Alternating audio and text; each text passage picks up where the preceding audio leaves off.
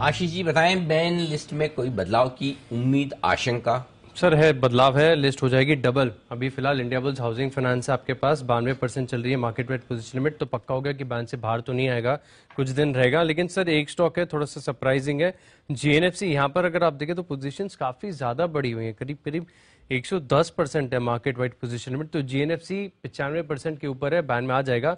India बुल्सिंग India bull housing finance ban में already है, बना ही रहेगा तो दो स्टॉक हो जाएँगे जीएनएफसी और India bulls housing finance GNFC आ रहा है सर जीएनएफसी आज तो काउंट डाउन भी है सुबह से डेढ़ परसेंट। खुला मज़बूत था। सप्लाई जोड़ता छह सौ जाकर 580 और तो दोनों तरफ़ के ट्रेड हुए हैं। इसके बैन में आने की पूरी पूरी आशंका। बिल्कुल पूरी आशंका है बैन में आने की जीएनएफसी की। इस काउंटर पर रखें। नज़र एक बार